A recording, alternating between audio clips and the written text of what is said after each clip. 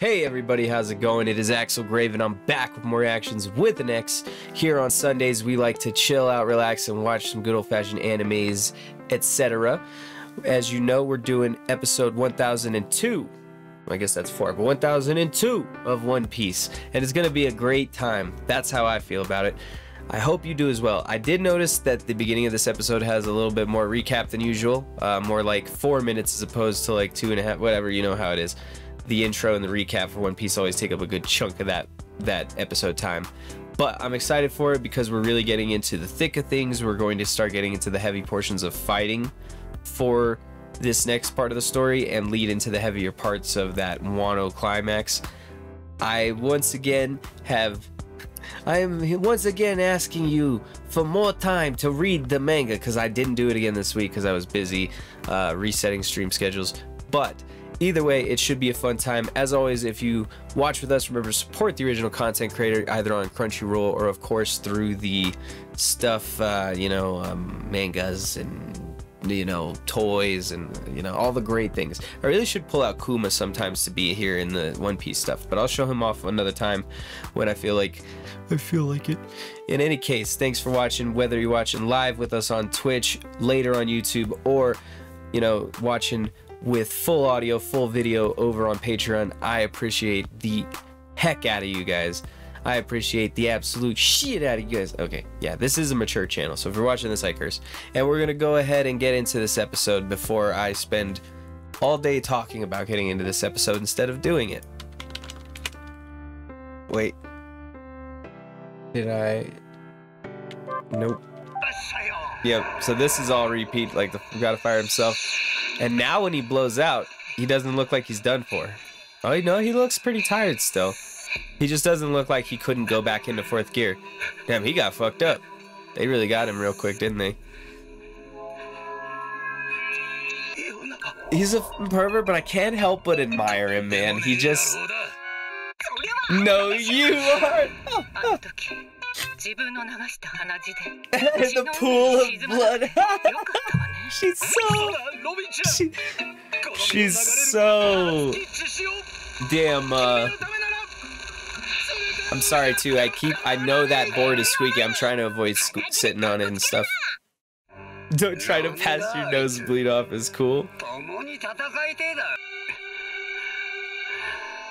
I love the blur. Did you see the blur going along with his breathing? The artistic choices get better and better every season, bro. Like, once again, it's so shocking because you go from old school One Piece, which is brr, and then to this, which is woof. At least compared to old. Like, obviously, there's way better animation out there, but look at the big welt that's Drake sized on his head. It's a Drake sized welt. It's actually bigger than Drake.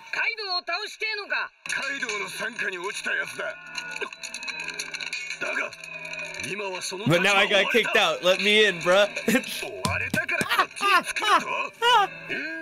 How can we trust such a shallow bastard?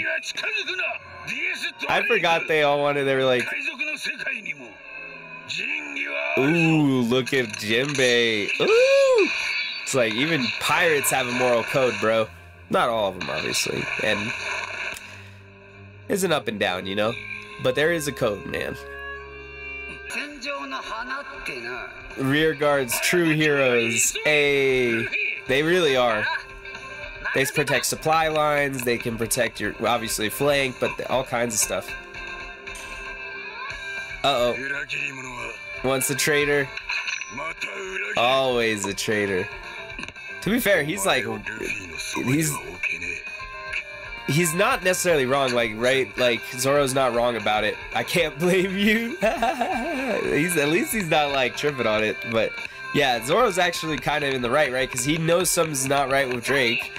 But it's just that Drake's a Marine, not that you know Drake's gonna try to get him here. Oh yeah, sure you will. At least they have this to give to give Page One some love, bro, because I feel like they really shit all over page one, both here and in the manga. Like, he has no love, bruh. He's like, I already beat that guy up once. Oh, That I no, I don't remember this. What is this added in?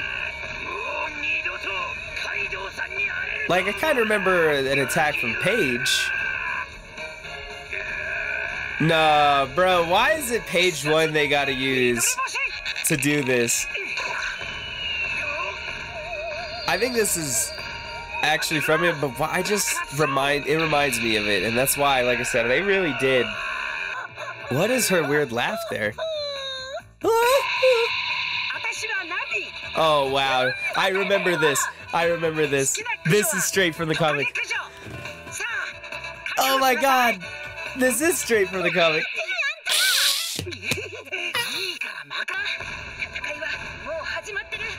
All right, let's see this. I can't remember from here, so pretty much everything after this I've seen. Yep, all right, that's what I thought. Okay, yep, that seems familiar though. They never change.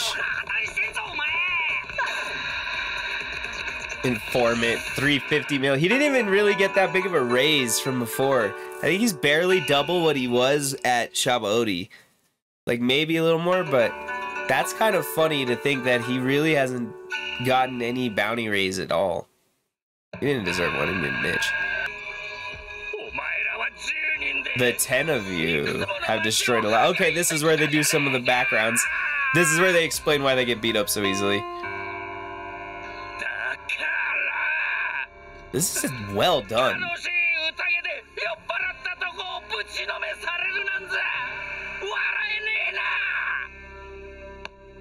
Oh no, when you phrase it like that, it's not necessarily the same way it was phrased before. Hey, there he's back.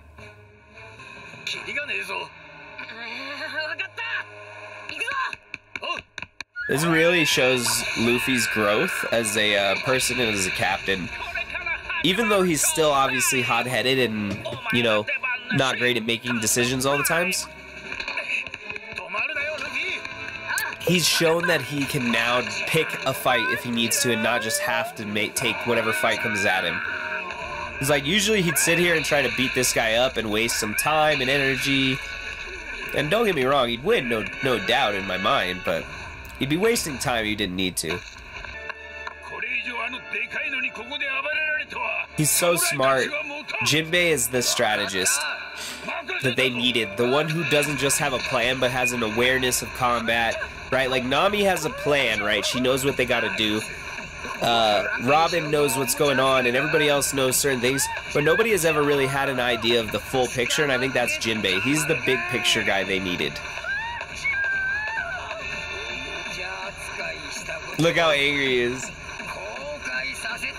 Oh, he thinks it's a toy. I thought he was in love with it. With the hearts. But I guess he's infatuated with the toy. Get ganged up on, boy! Run up on them! Hey, look, usually in the straight up one we aren't, but fuck this guy. I like how they allied over this. I remember too, he dissed him in the fucking comic from what I remember. He really dissed him.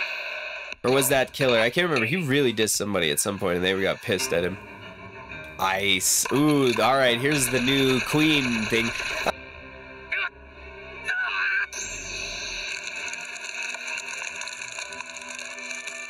He does have interesting ability though. Or, you know,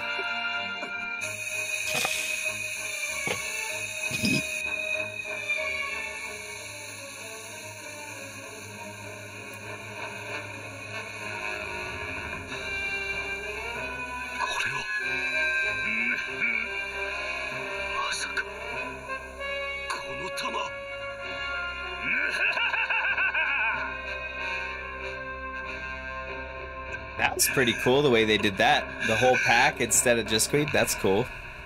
Wait, that was the episode? No way, bro. That pat that flew by.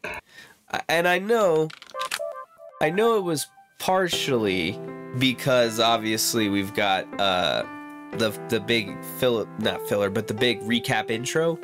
But geez, that passed so quickly, guys. Like honestly, I didn't even notice by the time it was uh going through.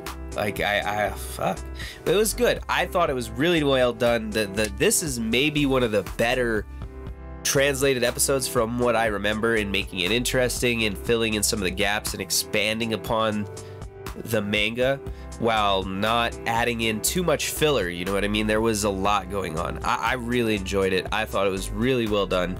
And uh, I can't wait to see how they go from here. That's why I was excited for this because this is where the story kind of pushes in again. There are just spots, right? Like one Piece is very good at knowing that it cannot always be an action-packed thrill story, right? It needs to progress and move and flow in an up and down motion, which means some parts are not going to be as thrilling as others, right? They're going to be a little more setup. And then those episodes are made better when the setup comes to fruition later, right? And those better episodes feel better. Like we talked about it in the Shaman King episodes we were watching, where episodes 11 and 12, I think it was, in the new Shaman King 2021 work together to make both episodes better as a unit. Having said that, I really enjoyed it. I'd love to talk with you guys more about why it was so well done, but we only have so much time in episodes like these, and I don't want to bore you guys forever. So, with that said, I want to thank everybody for watching. Remember to support the original content creators, check out Crunchyroll and all that stuff. If you enjoyed watching us here on YouTube, like, comment, react, subscribe, blah, blah, blah, all that great bullshit. But more importantly, have a great day. And if you want to chat with us, come check out our Discord, which is linked below.